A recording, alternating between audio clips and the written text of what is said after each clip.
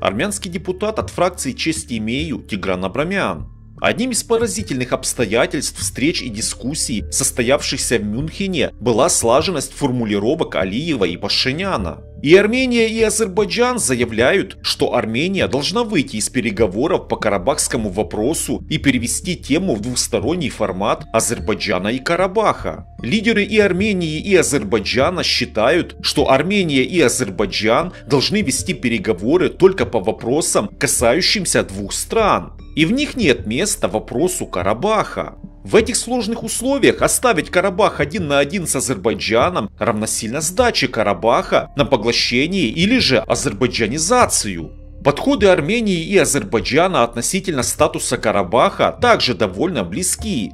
Армяне Нагорного Карабаха и армяне Карабаха. Правда, Азербайджан тоже возражает против формулировки «Нагорный Карабах», но для него это не предметно-идеологический вопрос, а просто он выражен в законе об административно-территориальном делении Азербайджана. И власти Азербайджана и Республики Армения рассматривают карабахскую проблему не в рамках статуса реализации права на самоопределение или его международного признания, а в рамках прав и свобод армян, проживающих в Карабахе. Это карт-бланш в руках Азербайджана, чтобы заявить, что он готов обеспечить свободы и права проживающих в Карабахе армян так же, как и в остальных его регионах, и считать проблему решенной.